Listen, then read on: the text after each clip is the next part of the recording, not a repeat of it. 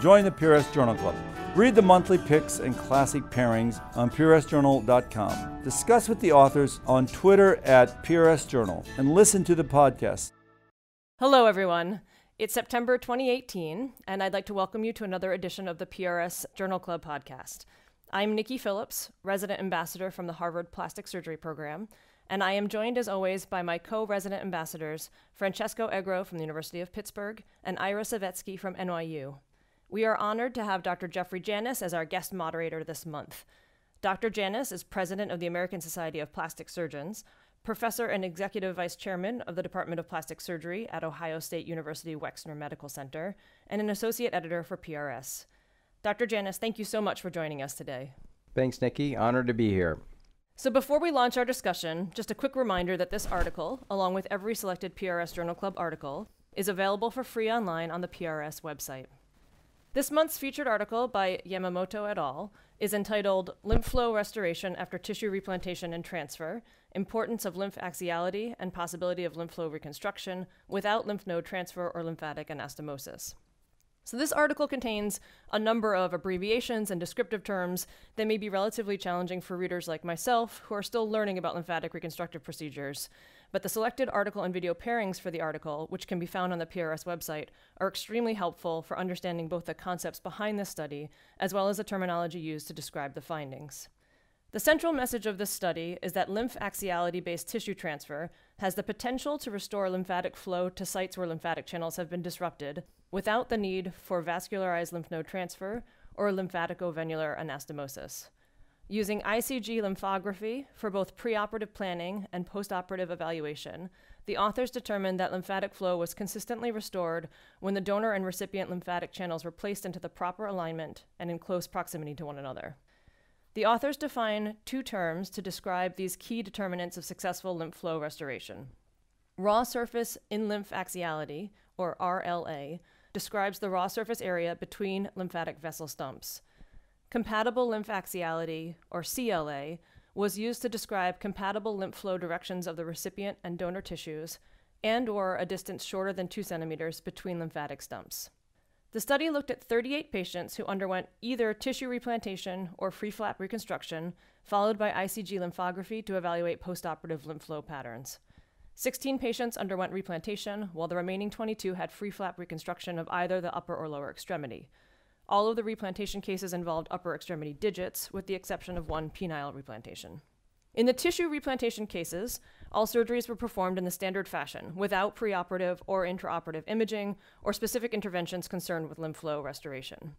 For the free flap procedures, 15 of the 22 were performed in a conventional manner, while the remaining seven employed preoperative ICG lymphography to mark out lymph flow patterns in the donor and recipient tissues. Then, during flap inset, when possible, skin edges were aligned so as to approximate lymphatic channels as closely as they could under ICG lymphography navigation. No suturing of the lymphatics themselves was performed. Channels were aligned and approximated using subdermal sutures alone.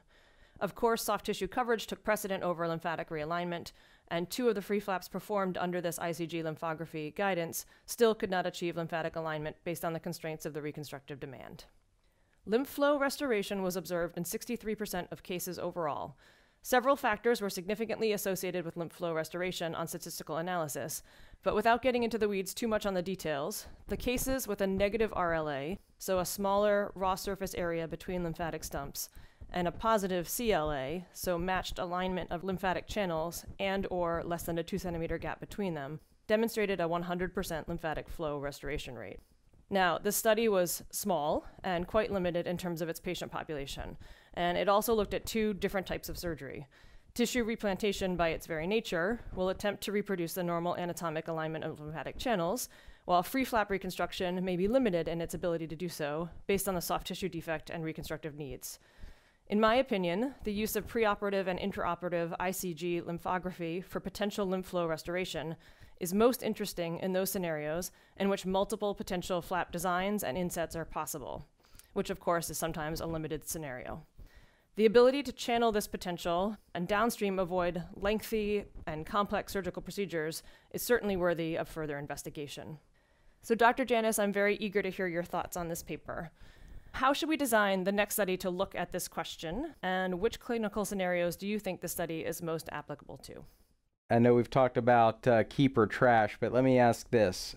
When we've discussed previous papers, we know that this is a limited study because of a small patient population. However, I think the results were extremely interesting, especially with the 100% ability to restore axial lymph flow when you had the RLA negative and the CLA positive situation.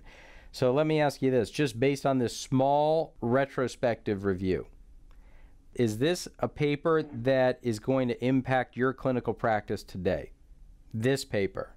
Oh, that's a great question. And I'm, I'm not trying to straddle the fence on this answer, but I think what I really liked about this article is I think it's an idea article. This is an, the kind of article that like leads us to think about you know, conceptually, can we do this? You know, like, can we harness our free flaps without adding extra stuff to them, but just already what we're doing? We add in some ICG lymphography, which isn't a huge deal to add on, and we can potentially capture this great effect. So I think I would like to keep this paper right now as an ideas paper. I think as a study overall, it's not a great study. I think we need to do better studies, but that's why I wanted to frame that question to you that way. All right. So, Ira, as an idea paper, if you agree with Nikki that it's a good idea paper, what problem is it solving right now? Have you noticed issues in tissue replantation or transfer with long lasting edema? Have you seen that in your clinical practice and training? I would trash it. I don't think it will change anything right now. I agree with Nikki that it's interesting and thought provoking, but practically speaking, you know, currently I'm the I'm the chief on the hand service at Bellevue, and, and I've done a few replants recently, and you know, there's no long-lasting edema on successful replants in the digits. So, you know, at the end of a replant or when you're getting ready to sort of inset it or whatnot, I'm not gonna ask for the ICG to try to line up the dermal lymphatics. Francesco, do you use ICG at all in any of the cases that you're doing? Flaps, breast surgery, anything, head and neck? We use it for breast occasionally, uh, and we use PD. So we don't we don't have SPY here. We use uh, PD, but we use uh, indocyanine green. So you do have it. You have the technology, but you don't use it that often. Is that right? We only use it if the flap is compromised. All right. Ira, do you have ICG technology?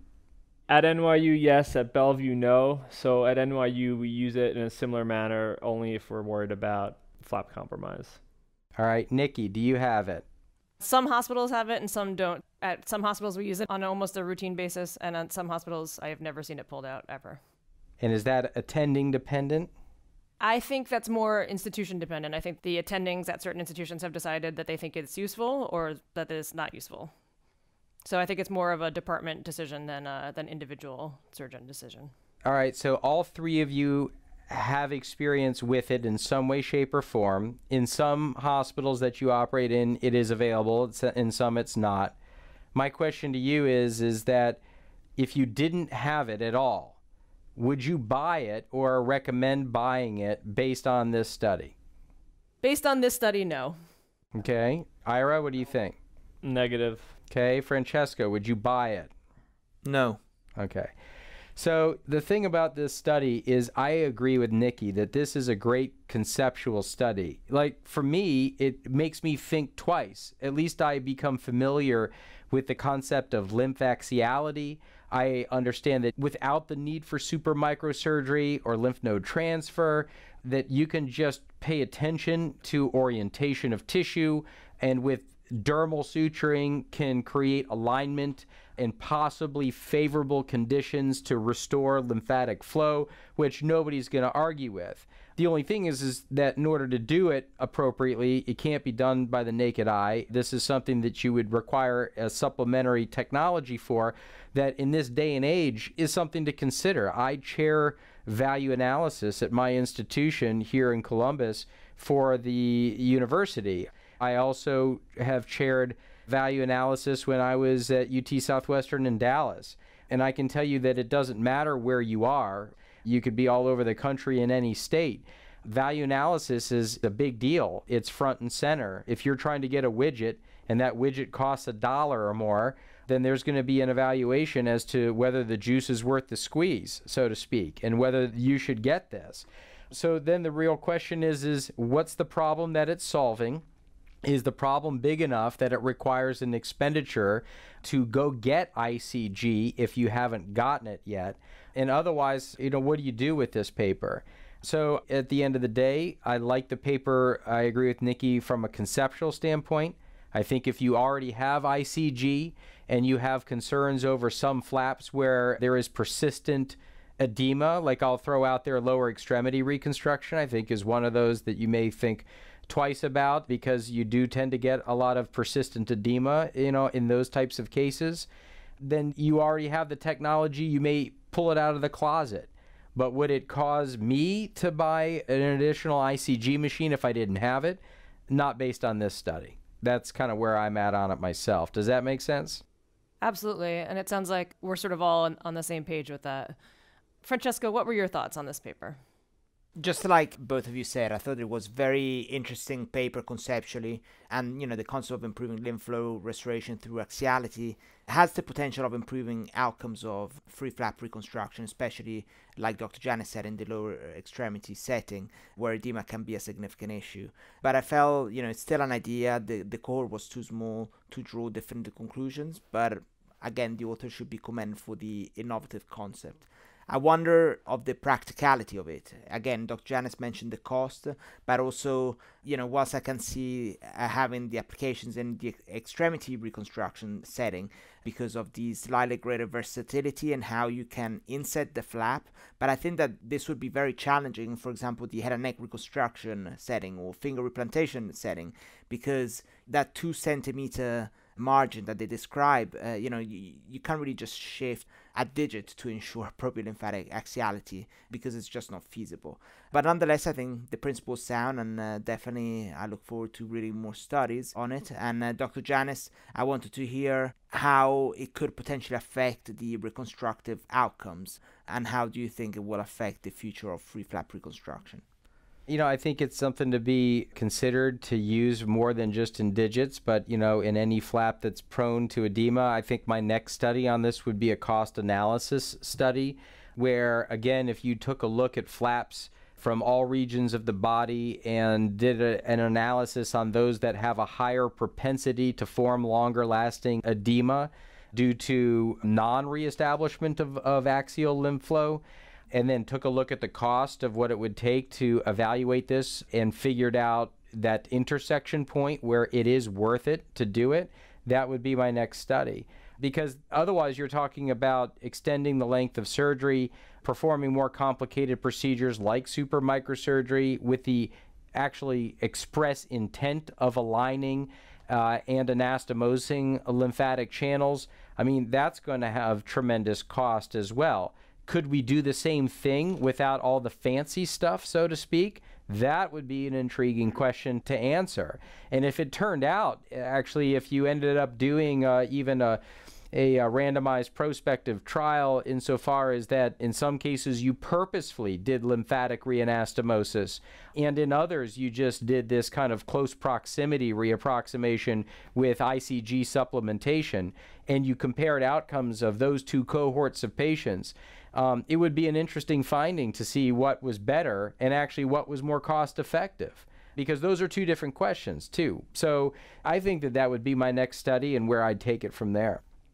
That would be really, really interesting. At that stage, then, depending on what the outcomes are, then potentially change or consider as a changing our practice. Ira, what were your thoughts about the paper? I agree with everything that was discussed, and I agree it's a thought provoking study. I don't think it's a practice changing study just yet. I think the things to think about also is the location where tissue is being transferred and the size of the tissue being transferred.